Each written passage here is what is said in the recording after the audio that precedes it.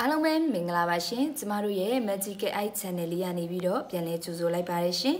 ဒီနေ့ပြောပြပေးခြင်းတဲ့အကြောင်းအရာလေးကတော့2021ခုနှစ်နှစ်ကုန်ပိုင်းနဲ့2022ခုနှစ်အစောပိုင်းကာလများတွင်ဗမာစစ်တပ်၏အင်အားကြီးလက်နက်များဖြင့်ချေမှုန်းမှုကြောင့်နေဆက်ဒေသမှတဆင့်ထိုင်းနိုင်ငံအတွင်းသို့ရောက်ရှိနေသောစစ်ပေးရှောင်ဒုက္ခသည်များအတွက်ထိုင်းနိုင်ငံအတွင်းအန္တရာယ်ကင်းစွာနေထိုင်နိုင်ဖို့အတွက်တင့်တော်သောအချက်အလက်များကိုစူးစီးတင်ပြပေးမှာဖြစ်ပါတယ်ရှင်။ 2021ခုနှစ်ဒီဇင်ဘာလနောက်ပိုင်းတွင်ဗမာစစ်တပ်မှအင်အားကြီးလက်နက်များဖြင့်ကရင်ပြည်နယ်လီကီကော်ဒေသကိုချေမှုန်းခဲ့ကြပါတယ်။ထို့ကြောင့်လီကီကော်နှင့်အနီးအနားရှိကျေးရွာမြို့သစ်များမှပြည်သူများသည်ထိုင်းနိုင်ငံရှိမဲဆောက်မြို့သို့ထွက်ပြေးတိမ်းရှောင်နေကြရသည်မှာယခုအထိပင်ဖြစ်ပါသည်။အကြောင်းအရာမျိုးစုံနှင့်မဲဆောက်မြို့သို့ထွက်ပြေးတိမ်းရှောင်လာသောကျမတို့မြန်မာနိုင်ငံသားများသည်ထိုင်းနိုင်ငံသို့တရားမဝင်ရောက်ရှိနေခြင်းဖြစ်ပါသည်ထို့ကြောင့်ကျမတို့သည်ဗမာစစ်တပ်၏အနေနဲ့မှလွတ်ကင်းသည်ဟုဆိုနိုင်တော်လဲထိုင်းရဲများကိုမူရှောင်တွင်း၍နေထိုင်နေရမှာဖြစ်ပါတယ်ရှင်ထို့ကြောင့်မိမိအနေကင်းစွာနေထိုင်နိုင်ရန်အလွန်အရေးကြီးပါတယ်ရှင်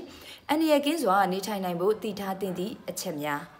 နံပါတ်1မိမိရောက်ရှိနေသော နေရာလိပ်စာများကိုသေချာမှတ်သားထားရန် GPS Google Map အသုံးပြုပုံများကိုလေ့လာထားရန် GPS ကိုကျွမ်းကျင်စွာအသုံးမပြုတတ်ရင်ကားဆိုင်ကယ်ငှားရတာမလွယ်ကူပါဘူး GPS ကိုကျွမ်းကျင်စွာအသုံးပြုတတ်မယ်ဆိုရင်တော့ကားဆိုင်ကယ်ငှားရတာလွယ်ကူပါတယ်ရှင်ကိုရောက်နေတဲ့နေရာကိုမသိပါက location ကို share ရင်လုပ်လို့ရပါတယ် location ကို share ရင်လုပ်ဖို့ Facebook Messenger သို့မဟုတ်ရိုးရိုး SMS ကနေပို့လို့ရပါတယ် နံပါတ်2မိမိကိုကူညီပေးနိုင်မဲ့လူသို့မဟုတ် NGO အဖွဲ့အစည်းတစ်ခုခုကိုချိတ်ဆက်ထားရန်ချိတ်ဆက်ပြီးပါကအဖွဲ့အစည်းများ၏ဖုန်းနံပါတ်များကိုကိုနဲ့မကွာဆောင်ထားဖို့လိုပါတယ်။မဲဆောက်မှာယင်းဤသူသို့မဟုတ်ရောက်နေပြီးသားသူတွေကိုဆက်သွယ်တင်ပါတယ်။မိမိတီလိုသမျှကိုမေးပါဒါဆိုလို့ရှိရင်တော့ဘူးတုတတော်တော်စုမိပါလိမ့်မယ်။စီဘေးရှောင်ဒုက္ခသည်တွေကိုကာကွယ်ပေးနိုင်တဲ့အဖွဲ့အစည်းတွေကတော့လောလောဆယ်မှာ UNHCR နဲ့အခြား NGO အဖွဲ့အစည်းတွေရှိပါတယ်။ UNHCR နဲ့ဆက်သွယ်မိပြီဆိုရင်ထိုင်းရဲ့ကိစ္စကတိတ်ပြီးတော့စိတ်ပူစရာမလိုတော့ပါဘူးရှင်။ဘယ်လိုချိတ်ဆက်ရမလဲဆိုတာကတော့နောက်ထပ်ဗီဒီယိုတွေမှာပြပြပေးသွားမှာဖြစ်ပါတယ်ရှင်။နံပါတ်3ထိုင်းစကားအနည်းငယ်လေ့လာထားရန်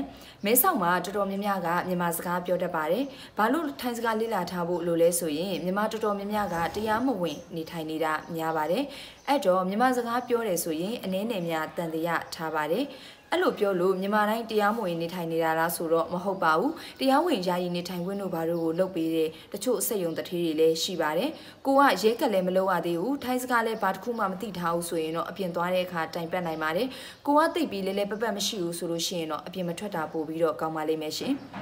နံပါတ်၄မိမိရောက်ရှိနေသည့်မြို့အကြောင်းကိုလေ့လာထားရန်ဥပမာနာမည်ကြီး shopping center အဆောက်အအုံဆက်ယုံနောက်တစ်ခုကဘယ်နေရာတွေမှာမြန်မာပြည်သားတွေအနေများလဲရှိလဲစသည်ဖြင့်ပေါ့